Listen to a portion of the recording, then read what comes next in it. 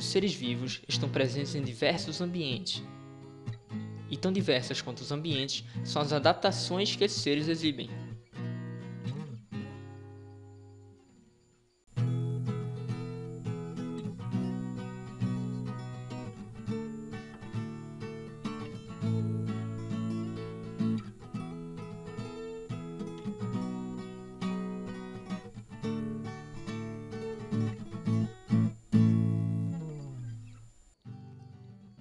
Caráter pode estar presente em duas espécies que compartilham um ancestral em comum.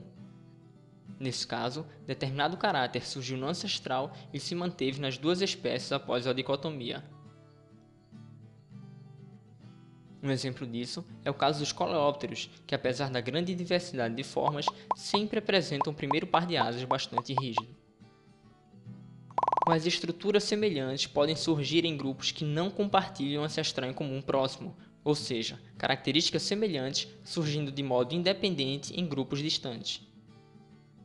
Esse fenômeno é chamado evolução convergente e ocorre graças à seleção natural. Com isso, temos insetos de grupos distantes como os geotropídeos e os grilotopídeos apresentando as pernas anteriores adaptadas de maneira a permitir que estes seres escavem o solo. Para tornar ainda mais clara a convergência evolutiva, podemos incluir neste exemplo as topeiras, que também apresentam os membros anteriores com adaptações semelhantes. Ou podemos exemplificar com o caso bastante conhecido do extinto Tilacino sinocéfalos, o famoso tigre da Tasmânia, um marsupial que morfologicamente é bastante semelhante aos lobos.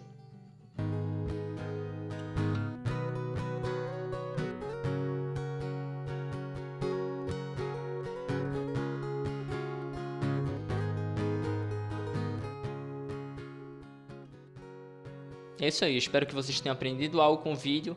Bons estudos e fiquem na paz.